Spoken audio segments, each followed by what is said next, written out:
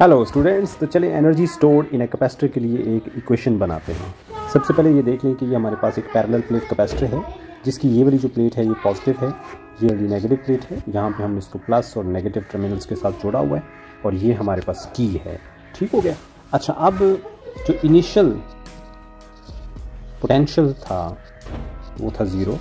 और जो final value of potential है वो है v, यहाँ पे जो हमने कनेक्ट किया हुआ। अच्छा अब जो एवरेज वैल्यू ऑफ़ पोटेंशियल होगी, जिसको हम डेल्टा v कहेंगे, वो बराबर होगी zero plus V divided by two and in this way this will be half V जो होगा। अच्छा अब जो एनर्जी स्टोर्ड इन कैपेसिटर है, उसके लिए हम एक इक्वेशन ऑलरेडी बना चुके हैं, और वो ये है कि डेल्टा u बराबर होता है q delta v delta u को हम एनर्जी कहेंगे Q एज इट इज़ और डेल्टा वी की जगह हमारे पास आएगा one over two V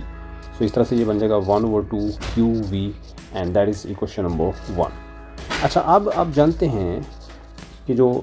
Q है that is directly proportional to V